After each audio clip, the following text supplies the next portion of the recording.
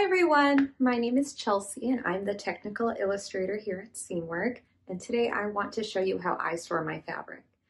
Now I've recently redone my whole sewing space so right now I'm still playing around with what I like and trying to figure out what works best for me in both a sewing and creative space so I'm still figuring it out right now.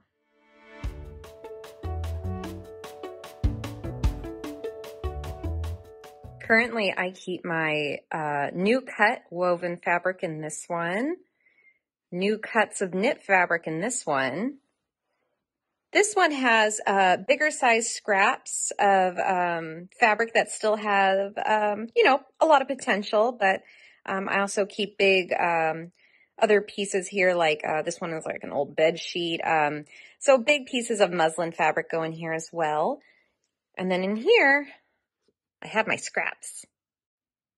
Now, inside the bins themselves, I, I don't really have a particular way that I like to fold them or anything, but I try to keep them uh, folded up like this so I can easily uh, search and find um, and see all the fabric that I currently have. Um, I may be playing around with uh, how to store these in another way sometime, but for now, um, I found that this works well for me. So right now, it's probably not the most aesthetically pleasing way to store my fabric, but it's been really efficient, so I don't really mind it too much, but I still intend to uh, play around with how I store them, and maybe I'll find a, a better method that meets both aesthetic and uh, efficiency. Uh, but for right now, having it separated into knits, wovens, uh, muslin, scraps, and then scrap scraps has worked pretty well. Now for the fabric that I plan to use next, I, I have two of them because I can't decide. I have this beautiful sage green rib knit and um, then this kind of coppery rust color uh, rib knit, both of them being from Icy Fabric.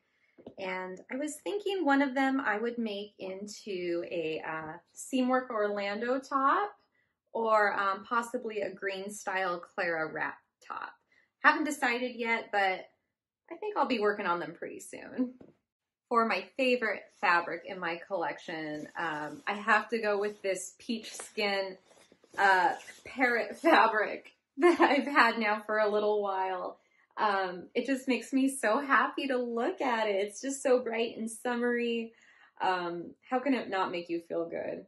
Um, and it feels good too, since it's a peach skin. Um, but I got this one locally here at Bolt. Um, I was thinking I might make a Decades of Style two-piece little summer outfit with it. Um, I'm hoping to make it finally this summer. I've been saying that for like the last couple years, but I think this summer might be the time. now, the fabric that I've had the longest in my collection is this really fun cotton that I got in Japan a number of years ago. Um, it's very sentimental to me. I bought it on my birthday and um, and it's just also so bright. It's it's hard to pick exactly what I'd use it for without having any regrets because it's so beautiful and it's been with me for so long. Um, I thought about maybe I'd make some accessory patterns with it um, or just a really pow dress, but um, but we'll see. Maybe it'll just stay with me uncut. I don't know. Now the fabric that I'm the most hesitant to cut into is this beautiful rust colored um, silk. I got this one here locally at Mill End and I just love it. it. it. was so beautiful. I just had to buy it right away. Um, I was thinking I might use it to make an Ogden cami uh, lengthened into a dress.